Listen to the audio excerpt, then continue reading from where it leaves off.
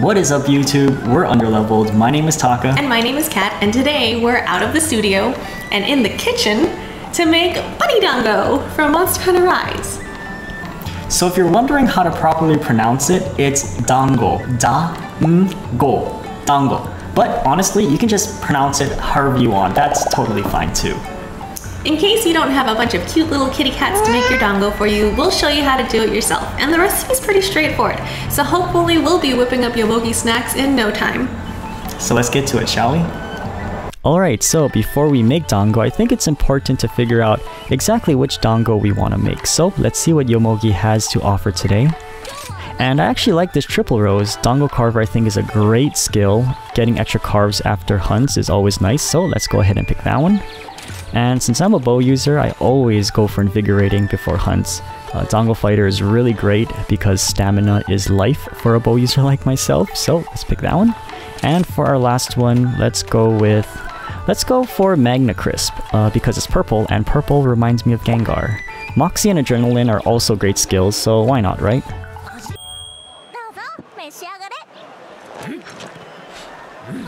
Okay, so now let's make some dango, and it's really easy too, there's only three ingredients. The first ingredient you're gonna need is joshinko. Joshinko is a rice flour, and you're gonna need 120 grams. Yes, we're going by weight, but if you don't have a food scale, then we'll roughly convert it to cups, but we do highly recommend weighing your ingredients. It makes it more precise and consistent. Now, if you're not making a mess, you're probably not doing it right. Then you're gonna need 120 grams of shiratamako. Shiratamako is a sweet rice flour that's had the starchy water removed before drying, and then it's broken into large, coarse bits. But once you add water, it instantly dissolves, giving your dango a smooth and silky consistency. Now, if you can't find shiratamako, you can also substitute it for mochiko, but try to get the good stuff. Then you'll need 120 grams of sugar. Simple, right? All three ingredients are 120 grams, so it's really easy to remember. Mix the three ingredients together and then you'll add roughly 175 milliliters of hot water. Again, we'll include the conversion on the side.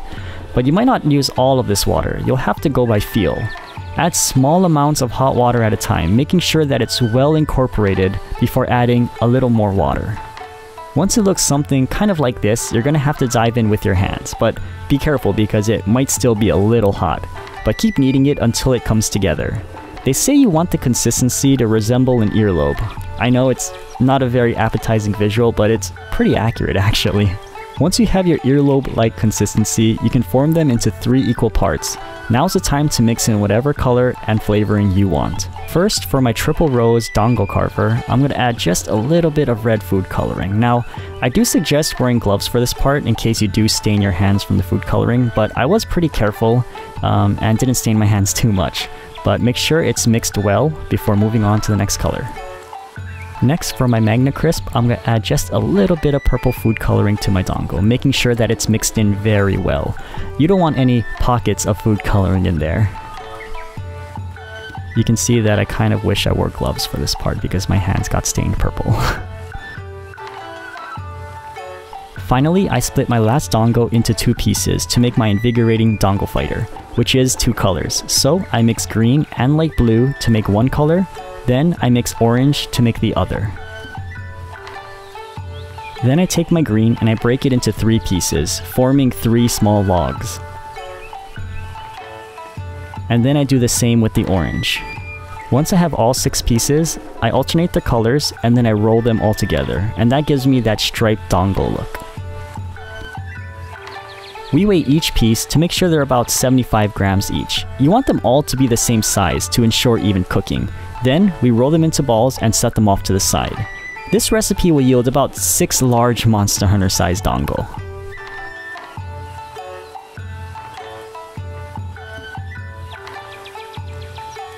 Once they're nicely formed, it's time to put them on the skewers. Now, normally you'd skewer them after cooking, but it's a lot messier and far more difficult, so for the sake of pretty looking dango, we'll do it prior to steaming.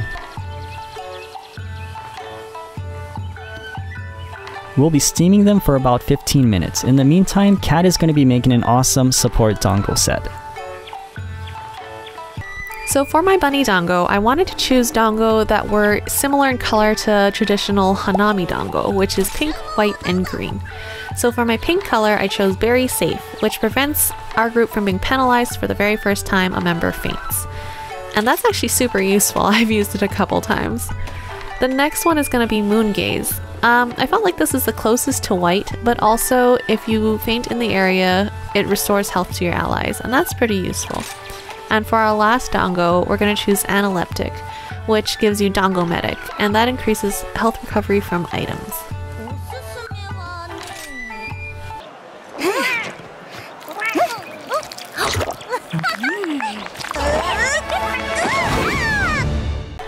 Going to start to prep for my medic dango, which I'll be using Yomogi to color it green. That's right, our favorite dango chef is named after traditional dango ingredient. Yomogi is also known as Japanese mugwort, which has a beautiful, earthy, and slightly bitter flavor and is used in all kinds of dango recipes.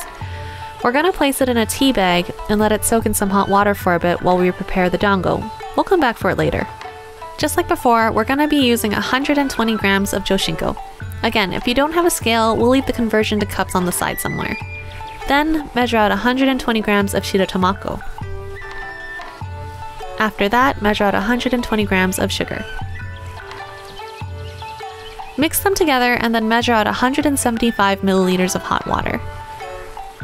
You don't have to be too accurate at this part. Mix in the hot water a little at a time, making sure it's mixed well before adding more. You might not use all of it, but just keep mixing in more until it kind of looks like this. Then mix it with your hands. Be careful as it might still be a little hot from the water. Mm, yep, that definitely feels like an earlobe. Perfect. Now we're going to strain out our yomogi and try to get out as much water as possible, or it might make our dango dough a little too wet.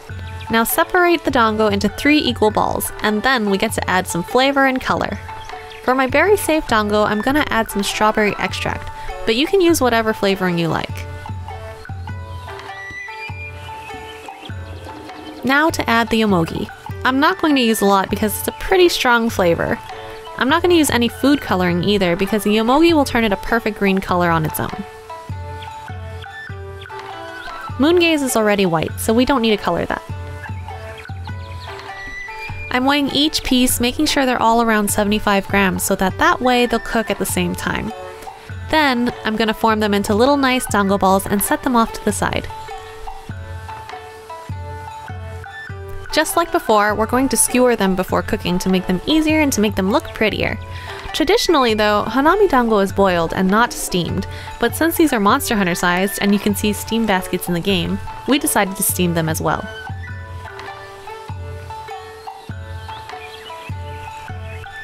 We're going to steam these Monster Hunter sized dango for about 15 minutes.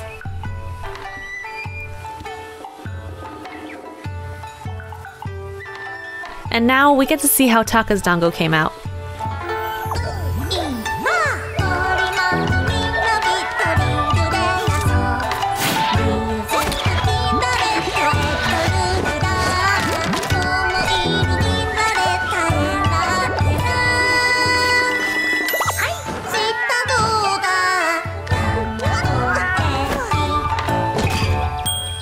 While it's still hot, we're going to decorate it with irigoma, or roasted sesame seeds, for the eyes and mouth.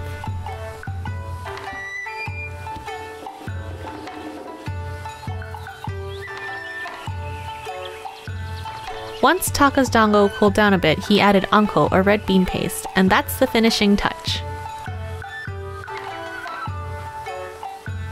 And that's how you make Yomogi's bunny dango from Monster Hunter Rise. Now we have all the energy we need to hunt some monsters. We hope you enjoyed this cooking video. We plan on doing more video game themed cooking stuff in the future, so if you want to see more, don't forget to subscribe and turn on the bell to be notified. But thank you for watching, and we'll see you next time. Bye! Bye.